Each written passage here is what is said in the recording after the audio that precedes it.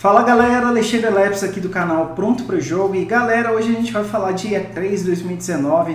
Acredito eu que você está tão hypado quanto eu para E3 e mais especificamente a gente vai falar o que esperar de Monster Hunter World Iceborne nessa E3, beleza? A Capcom já detalhou quais são os seus planos para essa E3, então sim galera, Coloquem na agenda aí, vai anotando, porque se você é fã de Monster Hunter, vai ter muita novidade essa semana. Já confere a inscrição no canal, já confere o sininho, porque eu vou tentar trazer tudo em detalhes para vocês por aqui, beleza? Então vamos falar sobre isso. Não esquece aquela voadora de dois pés no like que ajuda demais aqui no YouTube. Sem mais delongas, então, vamos aí para o assunto principal do vídeo. Como vocês devem bem saber, a E3 2019 já meio que começou com a apresentação do Google Stadia, que aconteceu no dia de hoje. No sábado já tem a apresentação da Microsoft, depois a gente vai ter a apresentação das outras desenvolvedoras também, né, como Ubisoft, Bethesda, Square Enix, PC Gaming Show, vamos ter a apresentação da Nintendo e acredito eu que vai rolar também o State of Play da Sony. A Sony não deve deixar a E3 passar batido assim, apesar dela esse ano não estar presencialmente no evento, tá? É uma semana que eu curto demais porque tem muitos anúncios de games novos, né? Nessas conferências a gente sabe o que esperar da indústria dos jogos aí para o segundo semestre de 2019 e também para os próximos anos, ok? E a Capcom já trouxe também os detalhes do que ela vai estar fazendo lá na feira. A Capcom vai estar presencialmente na feira e confirmou que vai ter demo, né? Vai, ela vai estar levando aí uma demo da expansão Iceborne e essa demo basicamente vai ser para todos os tipos de jogadores. A gente vai ter uma quest básica que é para matar um Jagras, é para aqueles jogadores que nunca encostaram em Monster Hunter e querem experimentar, então vai enfrentar um monstro mais fraco primeiro. Para jogadores intermediários, a quest intermediária você vai enfrentar um Bambaro, que é aquele alce gigantesco que a gente viu no primeiro trailer de gameplay.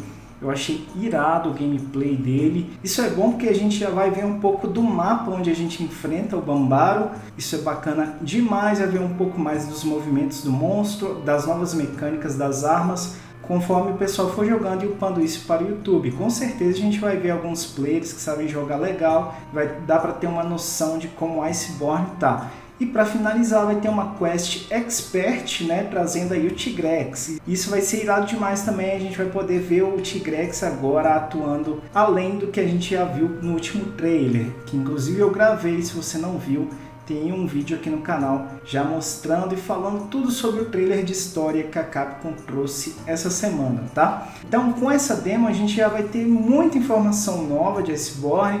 Quando teve a primeira demo de Monster Hunter Road, eu tive a oportunidade de testar na BGS aqui no Brasil, eu fui lá na oportunidade, testei o jogo. Essa demo ela deve seguir mais ou menos o padrão daquele teste de conectividade que rolou antes do lançamento de Monster Hunter Road, né? Você tem ali meio que monstros fixos, escolhe, você tem ali o um tempo fixo para matar ele, vai ali, faz a quest, dá para conferir o mapa, então dá para explorar bastante coisa, tá? Nessa demo. Então se preparem que vai vazar muita informação e eu vou tentar trazer tudo o que for possível aqui para vocês. Então, além dessa demo, a gente pode esperar mais informações, Leps? Olha, eu acredito que sim, tá, galera? A conferência da Microsoft promete esse ano. Vai ter anúncio dos novos consoles da Microsoft, uma porrada de jogos novos dos novos estúdios da Microsoft. E meu chute é que a Capcom não vai deixar essa conferência passar batido. É uma oportunidade de ouro dela colocar um trailer de Iceborne, tá? Então, meu chute é que veremos um trailer de Iceborne durante a conferência da Microsoft esse ano, beleza? E quem sabe aí vamos ver o primeiro gameplay do Galavenus, quem sabe vamos ver novos monstros anunciados e o pessoal que está esperando novos mapas, né? Eu tô meio cético se vai ter novos mapas em Iceborne, mas tem gente que acredita que vai ter novos mapas além da região de gelo. É uma oportunidade ótima da Capcom mostrar um novo mapa também durante a conferência da Microsoft com um trailer estrategicamente colocado ali, tá? Meu hype tá alto e é uma aposta que eu faço, tá, galera? Não tenho certeza se vai rolar, mas se eu fosse a Capcom não deixaria de colocar, já que é a conferência da Microsoft, vai estar o mundo todo voltado para ela devido à nova geração que está chegando e devido aos anúncios que a Microsoft já prometeu. Ok? Então, esse é meu chute. Pode pintar alguma coisa no State of Play da Sony? Acho pouco provável porque a gente nem sabe se vai ter State of Play. Eu acho que mais, maior chance mesmo de aparecer na conferência da Microsoft. E além disso, os desenvolvedores já prometeram aí que vai ter uma live com eles também, ok? Durante a E3, programada para o dia 11 no horário 2 EDT. Tem que fazer aí a conversão de horário, não sei exatamente ainda qual horário vai bater aqui no Brasil, mas eu vou estar transmitindo essa conferência com os desenvolvedores ao vivo aqui no canal, bem como a conferência da Microsoft para a gente tentar ver ao vivo e fazer aquele reaction também, né?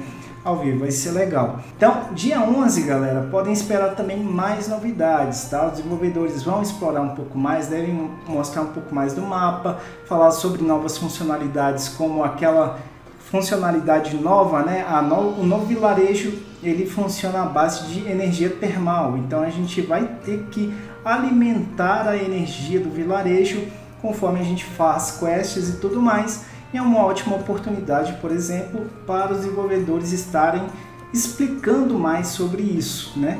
Bem como outras novidades de gameplay, né? Das novidades das armas que a gente pode esperar e claro mostrar um pouco mais da ecologia e dos novos monstros que podem pintar nesse trailer de E3 que eu tô chutando que vai acontecer, tá bom? Então essa live com os desenvolvedores também vai ser muito bacana, acredito que vai ser nos mesmos moldes da última live agora, onde eles mostraram o primeiro gameplay oficial de Iceborne, que a gente até trouxe um vídeo aqui assistindo essa conferência com os desenvolvedores por completo. Se você não viu, dá um confere. Então coloca aí na agenda.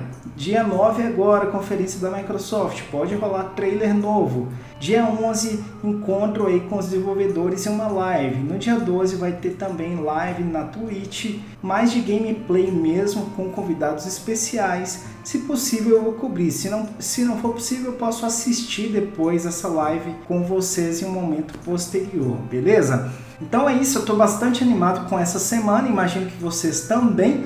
Não esqueçam de conferir as inscrições e o sininho para não perder a notificação e vir participar junto comigo, conferindo tudo isso ao vivo, beleza? É isso, galera. Era um vídeo basicamente para a gente sintonizar aí, vocês se programarem para as novidades de Iceborne que estão por vir essa semana, beleza?